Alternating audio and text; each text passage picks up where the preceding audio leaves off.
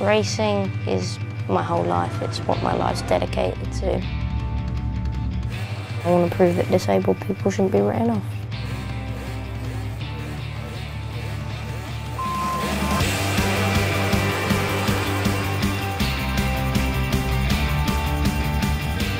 The problems that I have are a leaky heart valve, MED, which is a form of arthritis, and Asperger's, which is a low level of autism.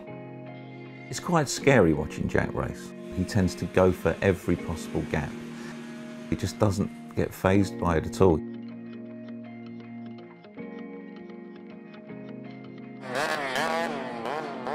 The longer the race is, the more pain I will be in after the race. It shakes my arthritis around a bit. Angler Indoor Karting Championship Trophy. I won it.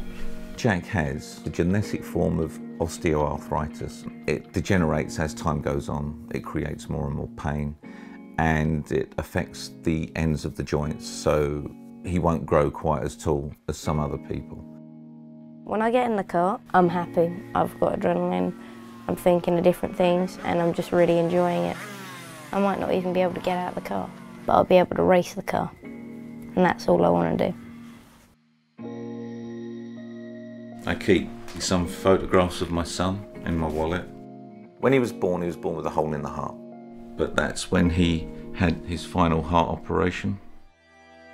He knows he's lucky to be alive and he wants to enjoy it as much as he possibly can. And he does. I'm very proud of what he's achieved so far. It brings him out of his autism and he wants to give so much. He's an amazing kid. I want to push the car and I want to beat the best. I won't be held back. I will dedicate my life to racing. My heart's set on it.